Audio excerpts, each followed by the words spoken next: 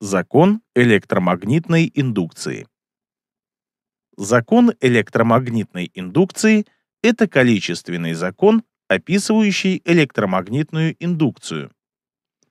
Этот закон был сформулирован Майклом Фарадеем. Чтобы осмыслить суть закона, обратимся к опыту. Рассмотрим первый опыт.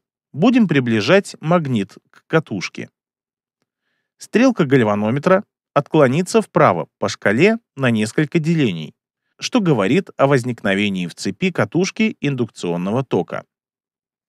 Рассмотрим второй опыт.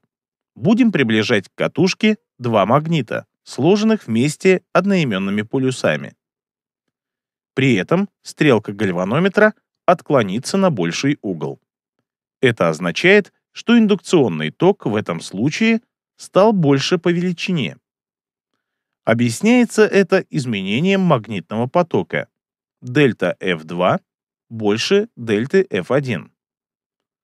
Значит, сила индукционного тока пропорциональна изменению магнитного потока. Если магнит приближать в одном случае медленно, а в другом случае быстро, то во втором случае индукционный ток будет больше. Следовательно, сила индукционного тока обратно пропорционально времени изменения потока. Объединив обе зависимости, можно утверждать, что сила индукционного тока пропорциональна скорости изменения магнитного потока через поверхность, ограниченную контуром.